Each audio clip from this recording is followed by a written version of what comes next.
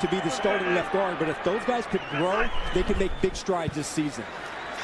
So Iupati has to come into the game. That quick crosser is caught DK Metcalf. Just four games into the season. Penny giving Carson a blow. Wilson's pass is caught. Second reception for the rookie, DK Metcalf.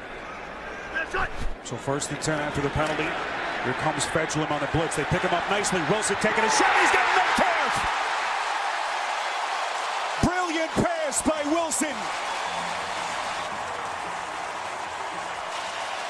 42 yards for Seattle. His first big contribution for Seattle. Starts with pass protection on the left side, giving Wilson a pocket. And then Metcalf just winning one-on-one story of this offense, not being able to get on track. On third down, Wilson feeling the heat. Puts some air under it, up the seam, and it is caught! Catch by Metcalf!